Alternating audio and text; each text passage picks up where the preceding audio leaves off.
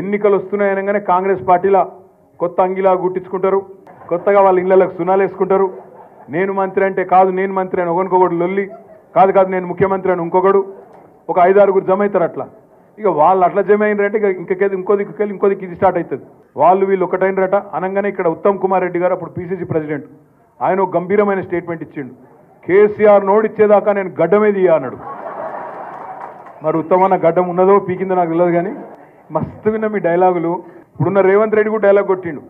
కొడంగల్లో నన్ను ఓడిస్తే నేను రాజకీయ సన్యాసం తీసుకుంటా అన్నాడు. ఆ సన్యాసి మళ్ళీ పోటీ చేస్తాడు అది వేరే విషయం కానీ. కానీ ఒక్కటి మాత్రం కాంగ్రెస్ వాళ్ళకు వెన్నతో పెట్టిన విద్య. కాంగ్రెస్ వాళ్ళకు ఎలక్షన్ అంటే ఏటీఎం ఎలక్షన్ వచ్చిందంటే పీసీసీ ప్రెసిడెంట్ సంపుడే సంపుడిగా.